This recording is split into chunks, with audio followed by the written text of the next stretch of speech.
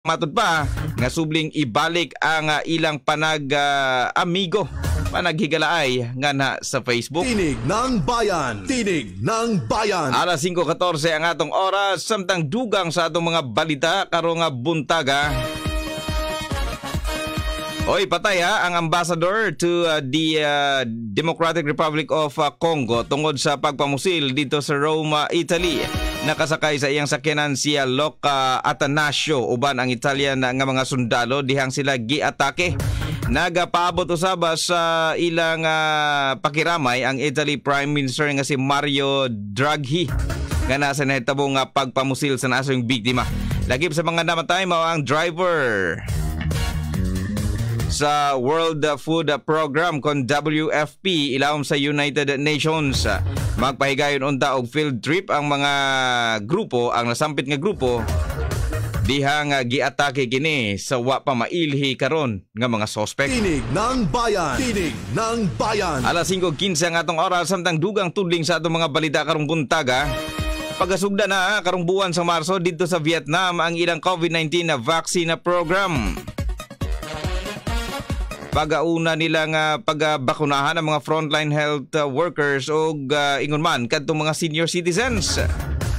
Gila uman na matud pa nga mudawat uh, sa 60 million doses sa bakuna karong uh, tuig ang nasampit nga nasud. Gikan na sa COVAX scheme sa World Health Organization.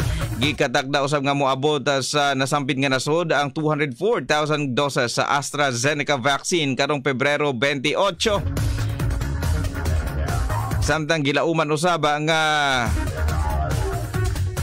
ipondo ang daghang mga bakuna didto sa ilang sentro didto sa lungsod sa Hanoi o ingon man sa utlanang bahin sa nasud didto sa Bangladesh.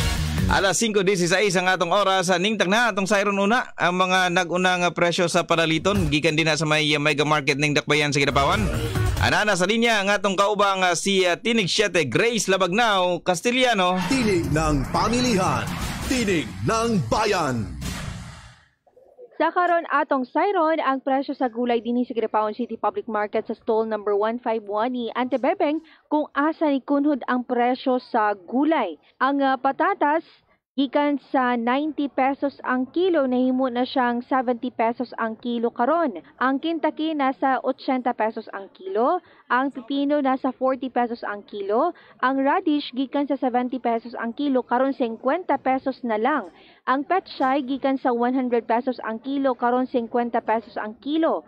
Ang uh, carrots gikan sa 80 pesos ang kilo nahimo na siyang 70 pesos ang kilo. Ang uh, ang uh, talong gikan sa 70 pesos ang kilo nahimo na siyang 60 pesos ang kilo. Ang kalabasa nasa 20 pesos ang slice.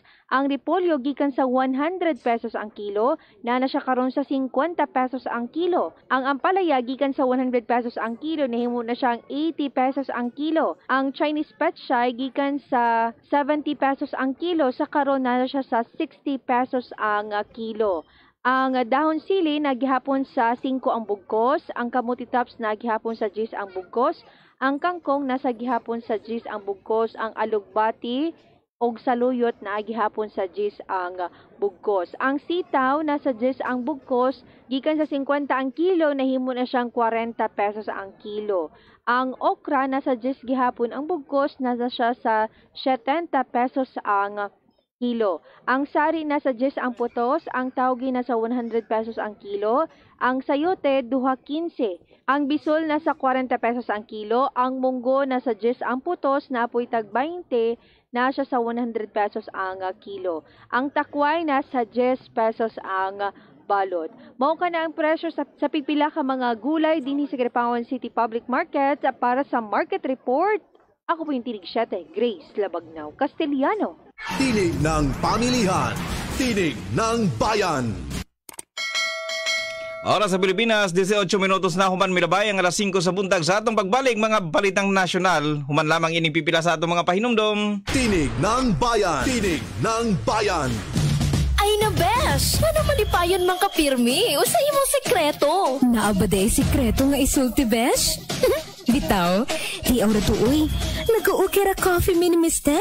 Mao ka na ang among kape matag adlaw. Unsa ba di ay naa sa Okira Coffee Besh nga makapalipay man? Makapalagsik besh. Bisan kanunay may busy sa trabaho ni mister, tuna pa'y igong resistensya alang ka namong duha. Ug ang makapalami pa besh, kay baskog kaahi si mister. Hala ka, uy! Kalami ba da ay ana, besh? Na, diris ako! Asa ka, besh? Magpalit po kog Okira Coffee, besh. Kay mga pipod mini mister na ako. Ang Okera 5-in-1 Coffee mapalit sa mga butika.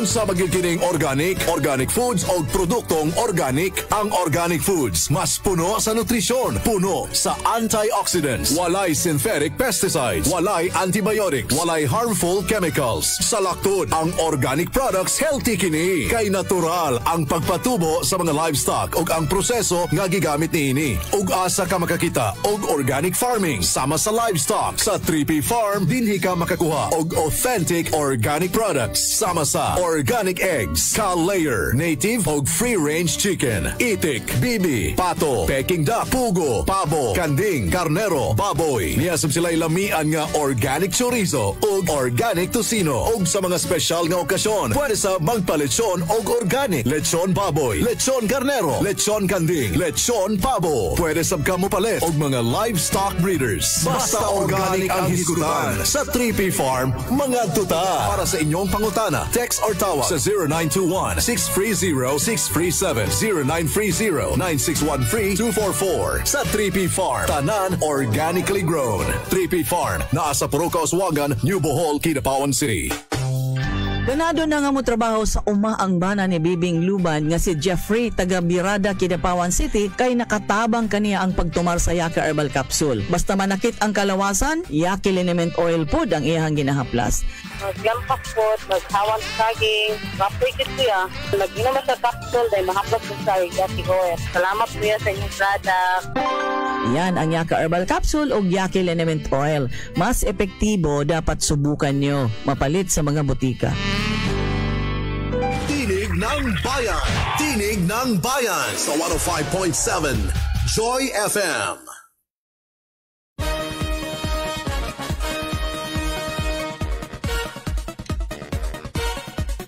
Oras sa Pilipinas, sa 21 minutos na human milabay ang alas 5 sa buntag.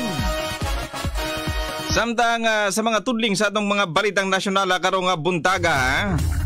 Nakasabot ang matod pa sa Presidente Rodrigo Duterte sa pagalangan sa pag-abot sa bakuna kontra COVID-19 na dinhi sa nasod ng Pilipinas. Kini ang giasoy ni Cabinet Secretary Carlo Alexia Nograles. Hinungdan nga walay ah, ginabasol karon si ah, Presidente Duterte kalambigit niini.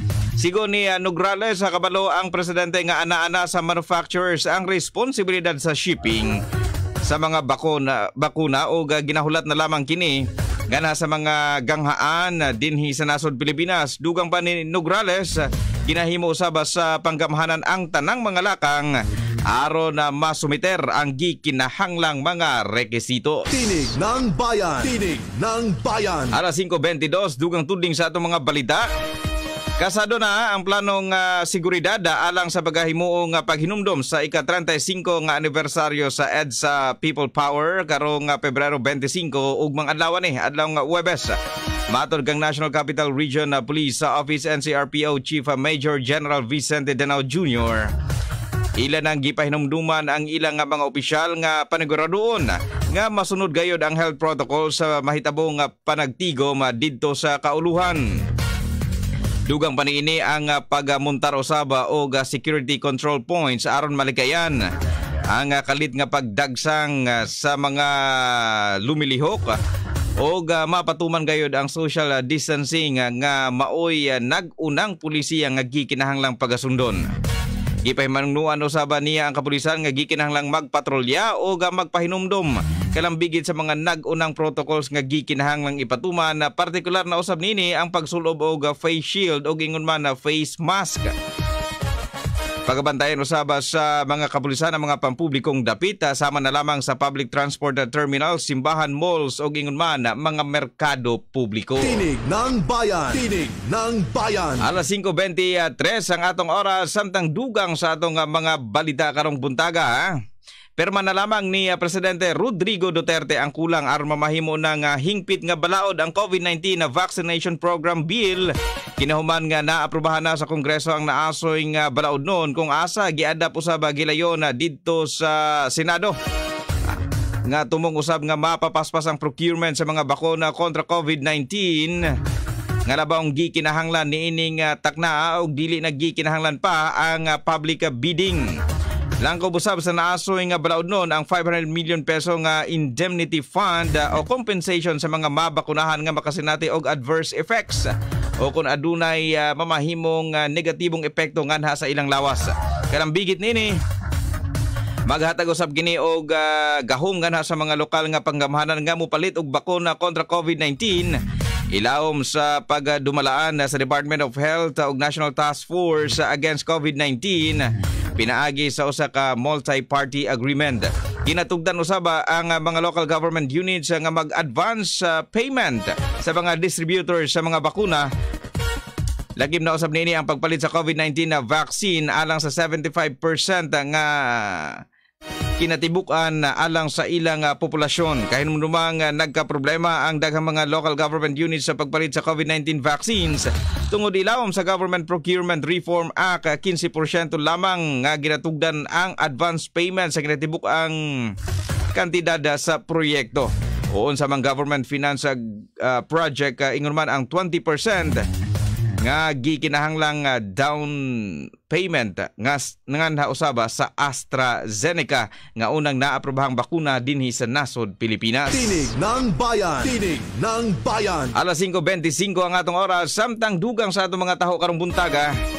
Nagpalugwa na sa schedule ang Commission on Elections sa alang sa 2022 presidential elections. Kini ang gikanayon ni uh, COMELEC Chairman uh, Sherif Abbas. Dinila ng uh, gika na yon o gipunting ang uh, mga petsa alang uh, sa paglatag sa Certificate of Candidacy gikan Oktubre 1 ha, hangtod na Oktubre 8 ning tuig kasamtangan. Filing na di ay sa Certificate of Candidacy ni anang mga takna ha, pipila ka buwan gikan karon. Gikadagda usab ang botohan sa mismong adlaw sa eleksyon o mismong adlaw sa eleksyon sa ikaduhang lunes sa Mayo sa musunod nga tuig.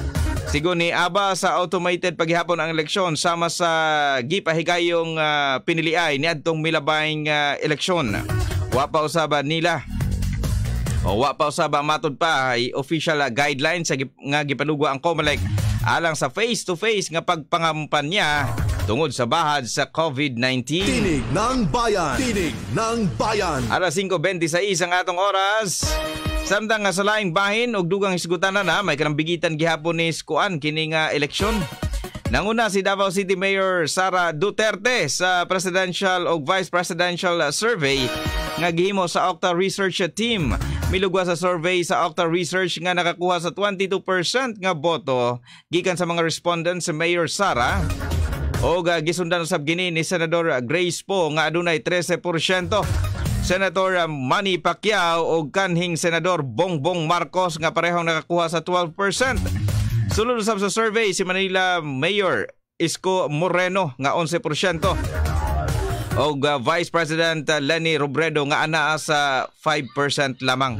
Nanguna usab sa Vice Presidential Survey si uh, Mayor Sara nga adunay 14%, ikaduha si Mayor Isko nga adunay 11%, o Pacquiao nga adunay 10%. Ang uh, gikanayong survey sa Octa Research Team gipahigayon ni adtong ika-20 sa Mayo hangtod uh, Pebrero 1 ning tuig kasamtangan. Nanguna usaba si Pacquiao ha sa senatorial race sa human makakuha sa 57%. Samtang nisunod usaba si kanhing senador nga karon Sorsogon na Governor Francis Escudero nga adunay 53%. O kanhing House Speaker Alan Peter Cayetano nga 50%. Sulod usab sa Magic 12 nga senatoriable sila broadcaster Erwin Tulfo. Kaning Senador Loren Legarda Moreno. Senador Panfilo Lacson, Bongbong Marcos, Senador Juan Miguel Zubiri, o kanhing Senador Jingoy Estrada, kanhing Senador JV Ejercito. o Senator ah, Sherwin Gatchalian. Tinig ng bayan. Tinig ng bayan. Alas 5.28 ang atong oras kadto ang langkob sa atong mga balitang nasyonal ah, karong buntaga. Unya sa atong pagbalik at ang ninyong mga balitang probinsyal ah, dinhi sa inyong tulumanong tinig ng bayan. At ano yung mga detalye ining atong nga mga balitang probinsyal karong buntaga upat missing ha duha angol sa pag-igo sa Auring didto sa may uh, probinsya sa Surigao del Sur. Samtang kapitan sa Loreto Agusan del Sur gipusil patay. Samtang nagpula nga dagat dito sa Ozami City gi uh, tun-an na karon sa BFAR. Siyam ka mga suspected uh, female, mga babae gini ha, suicide bombers arestado dito sa probinsya Sulu. Samtang Soksa Gen o Region 12 apilta ni ini ha makadawat og abot sa 3 million peso nga COVID-19 response projects. Kanag uban pang mga balita sa atong pagbalik human lamang ining pipila sa atong mga painumdom. Tinig ng bayan. Tinig ng bayan. Talakayang pangsakahan. Tinig ng bayan. Ako si Siti Mariam Gapos, tagawis patadon. Kunya ang akong problema sa akong tanom, nabatong, abono o pang-ipre. Uh, unsay pwede na akong gamiton ani sa akong tanom na batong. Nay mga tiyangaw, kana lang, salamat. Katulad din ng sa palay, gagamitin din natin po ay trichogramma din. Ganun na din. Ah, pwede may trichogramma kasi tayo para sa vegetable, may trichogramma din tayo para sa rice. At saka yung sa tiyangaw naman, siguro hindi tiyangaw yung nandoon sa vegetable. At kasi ang tiyangaw lang is para lang sa rice. Meron tayong ginabigay na metaricium na gina-spray natin sa palay, organic din yun hindi makaapekto sa health sa consumer. Para sa Tinig ng Bayan, ako si Nesmaris Peo, ang City Agriculturist ng Kidapawan City. Talakayang pangsakahan. Tinig ng bayan. Mga higala, kini ang gusto na ko ipasabot kaninyo. Kining Bilongga Gold, proven and tested na kini. Kung aduna kay rayoma, arthritis, di ka nakatindog, di ka nakalakaw, grabe na gayud ang imong pag-antos. Inumidayon ka na og duha ka Bilongga Gold. Makatulo sa usa ka adlaw, sulod sa tulo pod ka adlaw. Pero dili pa ka na moabot og tulo ka adlaw, makatindog ka na. Suway ragod. Makaayo pod ni sa mga bukol-bukol mga higala. Bilongga Gold timan ininyo. Bilongga Gold mapalit na sa mga butika. Himsog kaayo si Richard Duron, taga Bangkal, Davao City. Kay Coffee Yaki 7-in-1 ang ihang kape. Ah, nagakape ko Kopeyaki 7-in-1 sir, taga buntag yun na siya. Ang sa pwede mong batuyon ka ng makakape ka. Dili ka makaingon na kumpleto imong tulog, pero pag mata nimo mabalik yun ang imong kusog na nagamit atong giaging adlaw.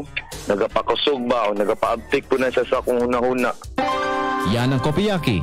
Mas epektibo, dapat subukan nyo. Mapalit sa mga butika.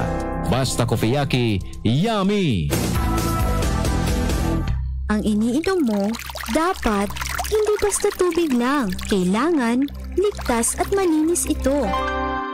Magpa-deliver na sa sulit na presyong 35 pesos per galon ang 3 gallons for 100 pesos free delivery pa. Protektahan ang buong pamilya. Uminom ng ligtas at malinis na tubig. Ang Yaki Purified Drinking Water. Para sa inyong orders, tumawag sa telephone number 064-572-3738 or cellphone number 0912-326-8160.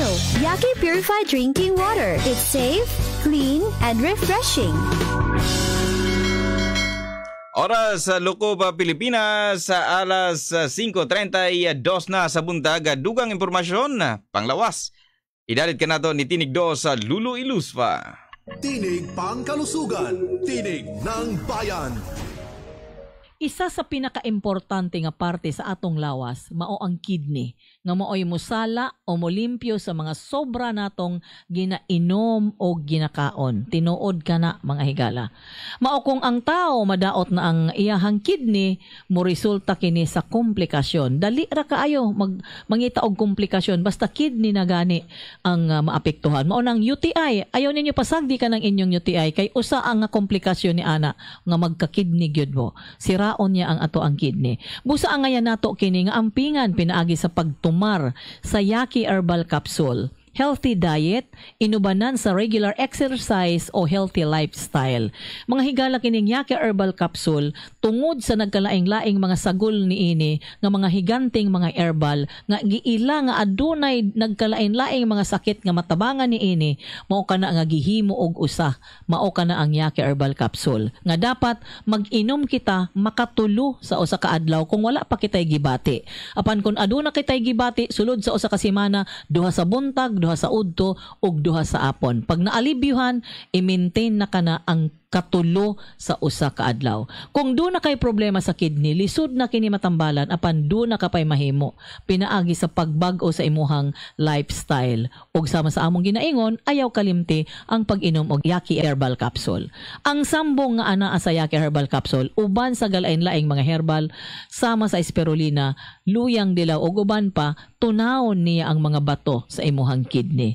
Ang Yaki Herbal Capsule dunay katakos aron limpyuhon ang mga nibara para sa atong mga dugo. Tunaw niya ang mga cholesterol deposits nga mao'y mubara sa flow o pagdaloy sa ato ang dugo mao kini ang sekreto sa mahimsog nga panglawas. Busa kanunaya o batasana gayod ang pag-inom sa Yaki Herbal Capsule matag adlaw kay makatabang gayod kini kaninyo.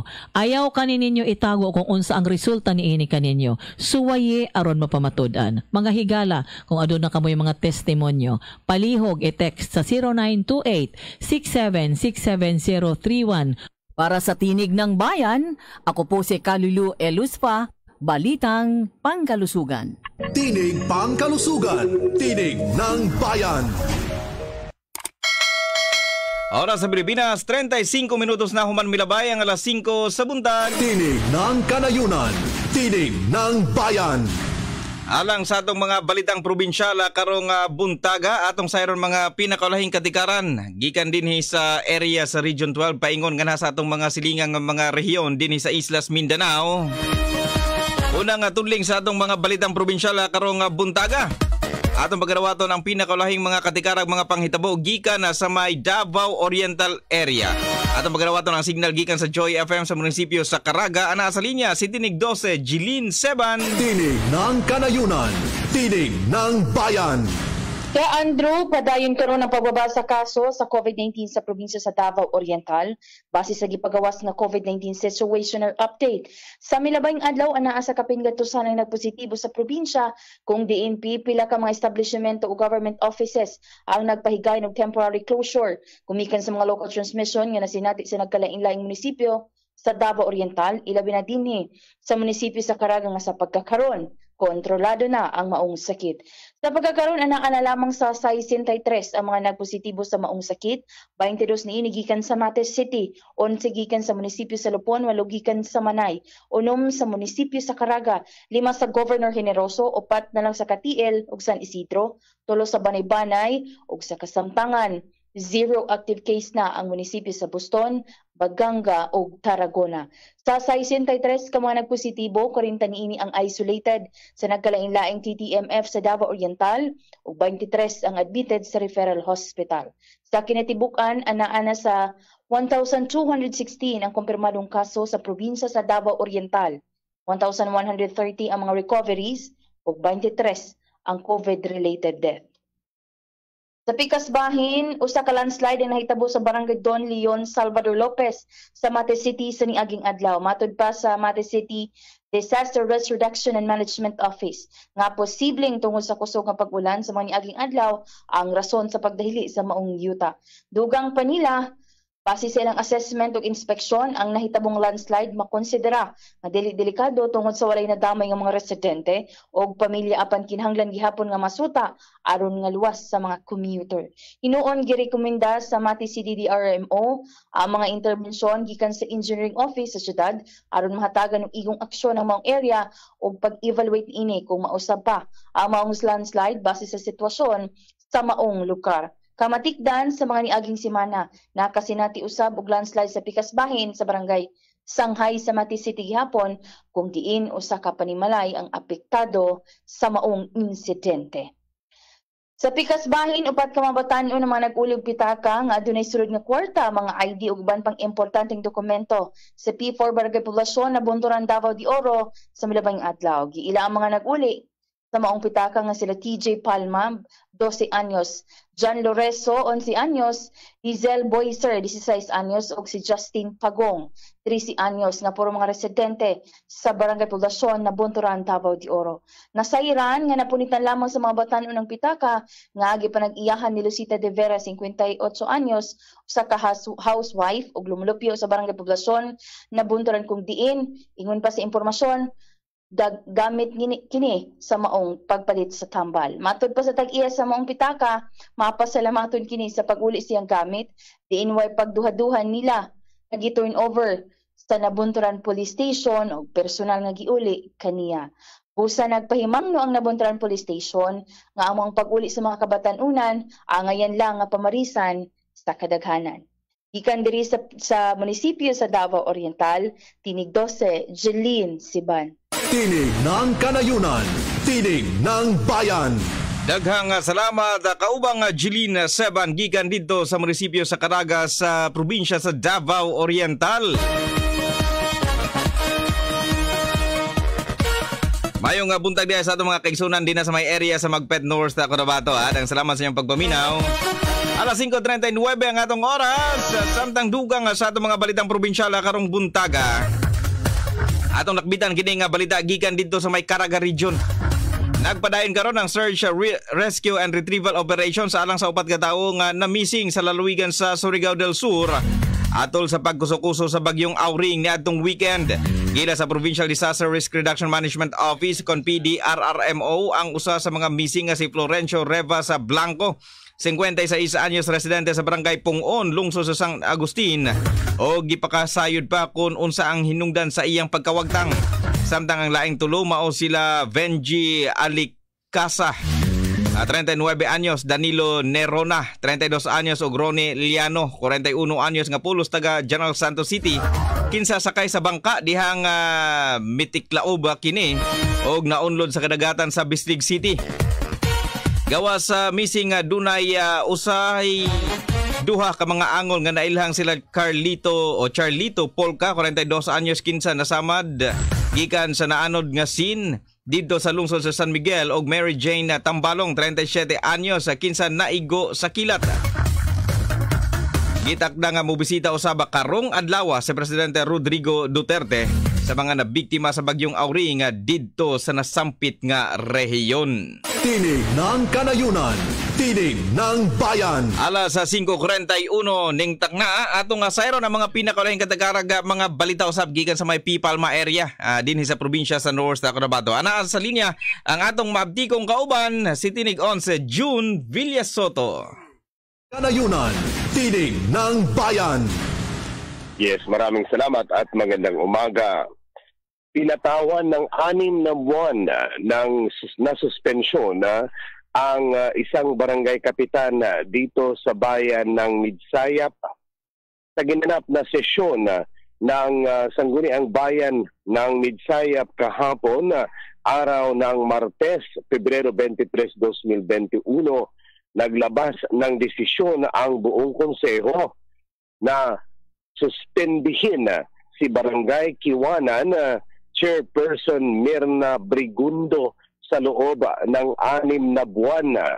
Nag-ugat ang uh, problema ni Brigundo nang sinampahan ito ng reklamo sa SB ng kanyang mga barangay kagawad dahil sa uh, basihan ng grave misconduct at abuse of authority. Ayon sa aligasyon na uh, hindi di umano pinipirmahan nitong uh, si Kapitan Brigundo ang uh, mga payroll ng uh, kanyang uh, mga barangay uh, council uh, members at uh, nadamay pa ang lahat uh, ng um, mga barangay workers kung saan uh, ilang buwan din silang nagtiis nang hindi tumatanggap ng honorarium.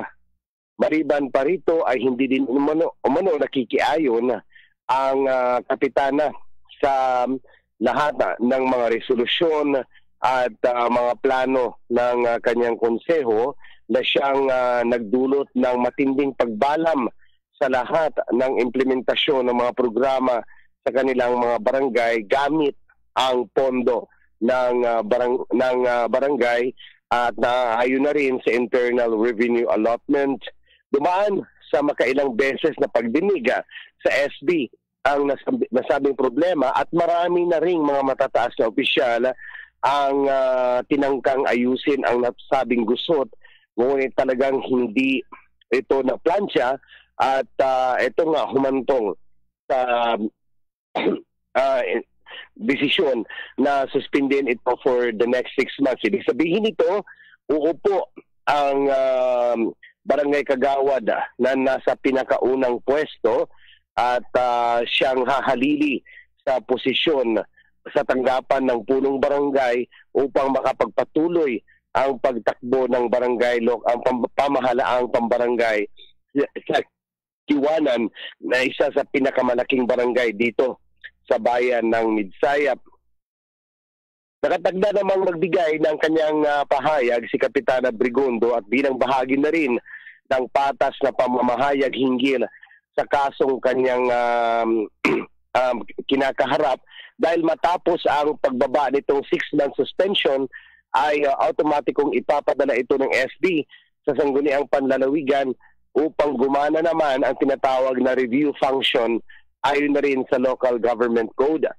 Ngunit um, tayo dito sa lokal ng Midsaya tayo maasa pa rin na sana ay um, maayos ang dapat ayusin dito sa problema o gusot na nangyayari ngayon sa barangay Kiwanan. Yan ang latest mula dito sa Pipalma area para sa Tinig ng Bayan, Tinig numero 11, June Villasoto nagulat. Tinig ng Kanayunan, Tinig ng Bayan. Daghan na kayo nga salamat at tinigon sa June Villasoto gikan sa may Pipalma area ning probinsya sa North Cotabato. Samtang nga dugang tuding sa atong mga balita karong nga buntaga atong nga lakbitan kining uh, probinsya gihapon sa may uh, Agusan del Sur. Padayon pang gibisitigahan karon sa kapulisan sa Loreto, Agusan del Sur ang pagpusil uh, patay sa kapitan sa barangay Kauswagan pasado alas 6:30 kagabi. Nailan ang biktima nga si Kapitan Edelberto Gramtica El Hino. 53 anyos kinsa gipusil uh, og kausalang uh, nga higayon diha sa iyang lawas samtang anaa gawa sa iyang uh, panimalay didto sa Purok 3. Daling misibat ang mga suspect padung sa wa matinong uh, direksyon human uh, mahimo ang nasampit nga krimen. Samtang uh, dugang tudling sa atong balita gikan usaba didto sa may probinsya sa Sulu Gitak na nga masampula na sa anti-terror law ang siyama kabang uh, babaeng uh, nga gika na gika tuhuang uh, suicide bombers. Naaresto mga suspect pinaagi sa joint operation sa militar o PNP dito sa probinsya Sulu. Sa pagkasiko pa sa Siyama, matud pa ang mga suicide bombers napugnan niini ang mga plano nga pagpabusika dito sa sampit nga probinsya. Gika na yon ni Joint Task Force sa Sulu spokesperson First Lieutenant Jerica Angela Manungdo. Gika na yon niini nga ang mga naaresto nga mga babae adunay kalambigitan o adunay koneksyon sa teroristang Abu Sayyaf dito sa probinsya sa Sulu. Matod kang JTF Sulu Commander Major General William Gonzales Magatubang sa katong paglapa sa RA 9516 sa kon illegal, unlawful possession, manufacture, dealing in, acquisition o disposition of firearms, ammunitions o explosive ang nasampit nga mga suspect. Giila ni Gonzales sa mga naarastong suicide bombers nga sila Aysara Halmaani Abduhajan, 36 anyos. Jeda Abduhajan Amin, 28 anyos. Elena Tasum Sawadyaan Abon, 40 anyos. Ferdausa Zaid, Noza Esmano Aslun, Norsha Hada Isnain, Linda Darona Maruji, Risa Jalil o Sharifa Rajani na kumpiska sa ilang mga posisyon ang improvised explosive device sama na lamang sa switches, mga baterya, pipes, concrete nails, blasting caps, o ginatuho ang suspected uh, ammonium nitrate uh, fuel oil o ingon man detonating cord. Gikan na yon ni Manungdo iserbe sa pulis o kasundaluhan ang warrant of arrest sa batok sa siyam ka mga babae human nga nakumpirma nga aduna kini kalambigitan sa teroristang grupo nga Abu Sayyaf hinungdan nga dayon sila nga nasigop. Gihatagag duot ni Manungdo nga himuon sa militar ang tanan aron di na makapanghasi pa og kagubot ang teroristang grupo didto sa ilang dapit. Ikanayon na sa military officials nga desperado na mga terorista o apil ang ilang pamilya andam nan kuno nilang isakripisyo alang sa ilang bugat nga tinguha. Tinig ng bayan. Tinig ng bayan. Alas 5.48 na ang atong oras samtang dugang balita gikan na dinhi sa rehiyon 12. Ah. Aprobado na sa national government ang pagpadugwa sa 300 million peso nga grants for community-based projects aron matubag ang epekto sa coronavirus disease kon COVID-19 pandemic o guban pang kalamidad nga nipagan sa Region 12. Malo nga Department of Social Welfare and Development kon uh, DSWD Region 12 uh, Director Cesario Joel Espejo kagahapong adlaw uh, giandam na ang mga programa alang sa intervention uh, rollout. Ilawom sa kalahi CIDSS program kon uh, kapit uh, bisig laban sa kahirapan, comprehensive and integrated delivery of uh, social services nga pagabubuag pondo sa World Bank alang sa socio-economic project gikan 2003. Ang maong inisyatiba mugahin na og pondo alang sa tanang proyekto nga tumunga mo patindog pagbalik sa komunidad o mahatagan sa basic social services ang 21 sa mga poorest and most vulnerable municipalities dinhi sa Region 12. Partikular sa mga proyekto mao ang pagpakunhod uh, sa epekto sa krisis sa bunga sa COVID-19. Sunod si Mana ha, target na nga mukanaog sa mga LGUs ang DSWD, partikular sa Nurala, Pulumulok, Tampakan, Tantangan ug Tupi dito sa South Cotabato. Antipas, Kabakan, Magpet ug President Rojas din sa North Cotabato. Alabel sa Sarangani ug Colombio, Kalamansig, Lambayong ug Libak dito sa probinsya sa Sultan Kudarat. Karong uh, Hulyo mao ang glan sa Sarangani, arakan makilala matalam midsayap lang ug tulunan dinhi sa North Cotabato. Sigon ni Espejo, sunod tuig hangtod 2023 ang nasampit nga mga munisipyo pwedeng maka-avail hangtod 20 million peso nga grants depende sa poverty incidence, sa population, income class o number of barangays. Ilawom sa Memorandum Circular number 20 nga gipadugwa sa mirabay nga tuig sa DSWD Central Office. Ang mga proyekto ha gilangkuban sa pagpalit sa personal protective equipment, hygiene kits, sanitation and cleaning supplies, Communication devices lagip na nini ang sound system sa alang sa information dissemination, upgrading rehabilitation sa evacuation centers, barangay halls, school buildings sa tribal halls ug multipurpose centers nga pwedeng magamit nga temporary isolation facilities sa paghatag sa temporary employment ilawom sa cash for work scheme o pagpalit sa medical tools o equipment sa COVID-19 response. Tinig ng kanayunan, tinig ng bayan. Alas 5.51 ang atong oras sa kadtong langkob sa atong mga balitang probinsyal karong buntaga. Tinig ng kanayunan, tinig ng bayan. Igala at ang ininyo sa atong pagbalik mga detalye ining atong uh, mga balitang lokal karong buntaga 29 ka mga LCAC barangay sa gipulong alang sa pagpahibalo sa mga rekwisitos alang sa ipalugwa nga 20 million peso barangay development project. AI sa barangay gilunsa dinhis Kinabawan City Government aron matubag ang krisis sa supply sa baboy. No CCTS, no entry didto sa munisipios Kabakan. State of calamity didto sa tulunan giduso na sa MDRRMC. Samtang 31 ka mga tawo nga una nga na-rescue dito sa munisipyo sa Arakan nagpabilin paghihapon sa quarantine facility. Kanang uban pang mga balita, unya sa atong pagbalik human lamang ining pipila sa atong mga pahinumdom. Tinig ng Bayan! Tinig ng Bayan sa 105.7 Joy FM. Nak, naon sa man ang bata? Ganihara man na magsigighila. Gigo to manggod ni ma, wala manggod ko'y gatas. Anak, di bagiing nga nataka pag tumaraan ng oleiferacy. Dugay na ko nag-ingon nimo nga kanang oleiferacy, daghan kaayo ang benepisyo ni ana. Kanang susama sa magpadaghan og gatas sa inahan nga nagapadede. Mao nang ingon nako nimo suwaye ang oleiferacy. Salamat sa oleiferacy. Malipayo na si baby. Mapalit sa pinakadool nga butika o drugstore sa inyong lugar. Healthy products ba ang hanap mo?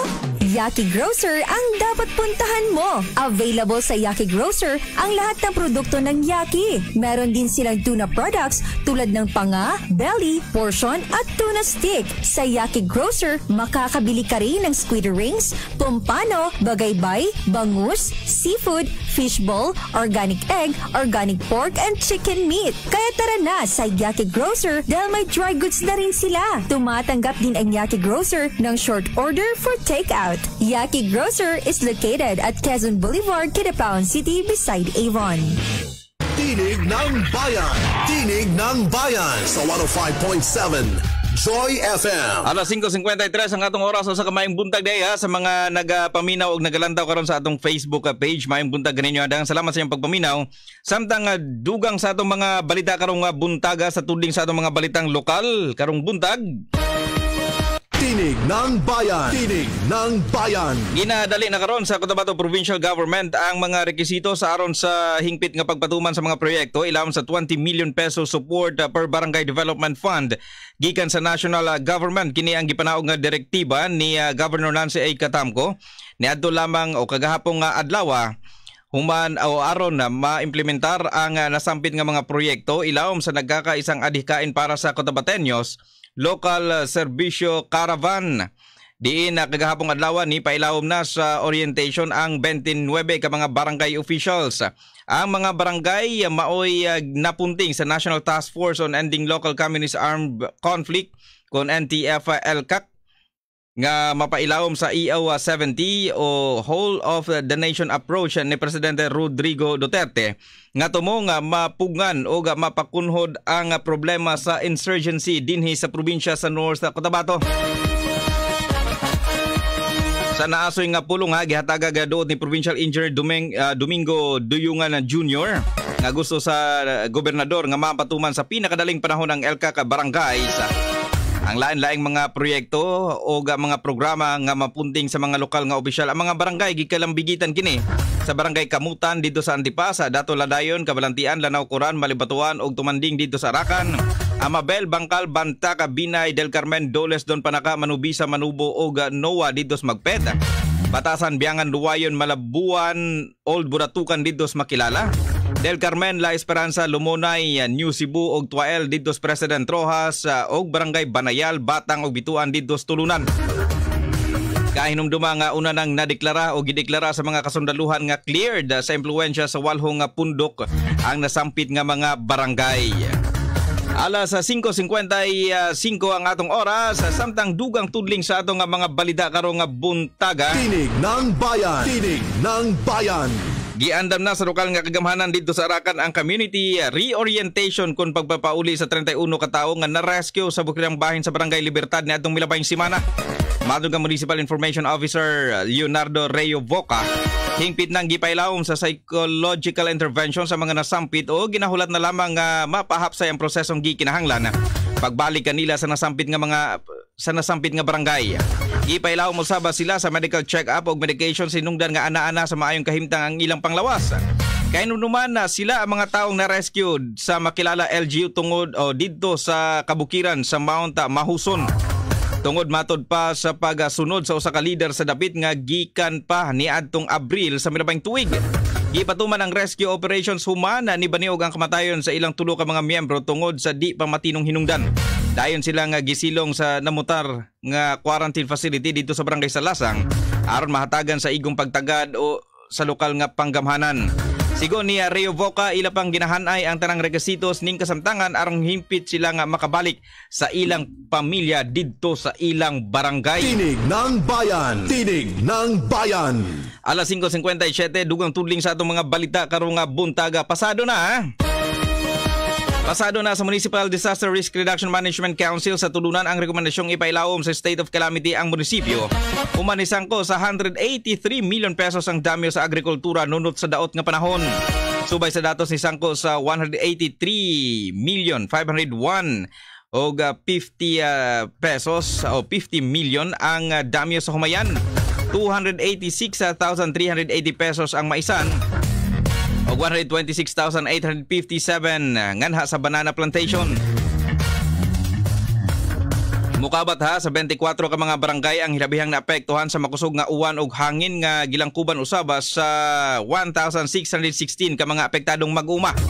Ilaumang isang ada sa MDR RRMC sa sangguniang bayan ang ilang rekomendasyon sa state of calamity nga gilaumang diskusyonan o maaprubahan sa konseho sa ilang scheduled regular session karong simanaha. Alas sa 5.58 ang atong oras. Ato nang sayron siguro no ang mamahimong dagan sa panahon na karong buntaga. Aron na sayo ang kalangitan, hayag-hayag ang kaatong kalangitan ha.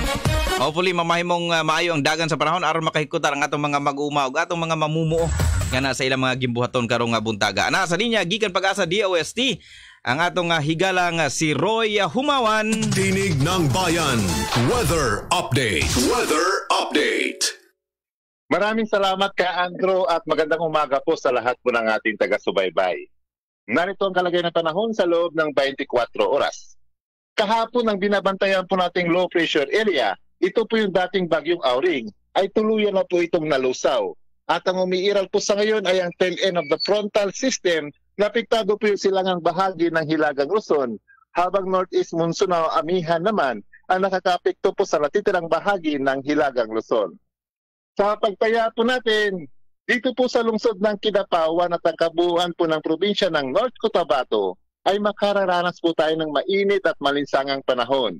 Bahagyang maulap hanggang sa maulap po na kalangitan, maliban na lamang sa pulong-pulong pag-ulan lalo na sa dakong hapon o gabi, dulot po ito ng localized thunderstorms. Ang hangin po natin ay magiging mahina hanggang sa katamtaman mula po sa silangan hanggang hilagang silangan at ang mga baybaying dagat ay magiging banayad hanggang sa katamtaman ang pag-alot. Tinatagot natin yung temperatura dito po sa Kinapawan ay sa pagitan ng 21 hanggang 31 antas sentigrado. Ang araw po ay sumikat sa ganap alas 5.55 at tulubog naman po ito mamaya sa ganap alas 5.52 ng hapon. Mula po dito, sa pag-asa di Istico Cotabato Airport, ang aking ulat panahon. Ako si Roy Humawan. Tinig ng Bayan. Weather Update. Weather Update. Oras sa alas 5.59. Daghang salamat Roy Humawan gikan sa pag-asa DOST ah, dito sa Cotabato City.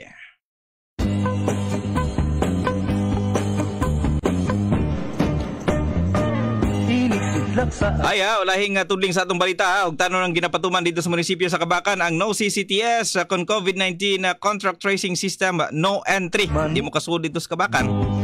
Imundar gini sa tanang mga entry points ha, sa lungsod aron mapaniguro nga di maglisod ang natungdang mga ahensya sa pagsubay uh, sa mga taong na-expose sa usa ka COVID-19 patient ug marikayan ang pagtakboy niini sa uban pang mga mulupyong lokal.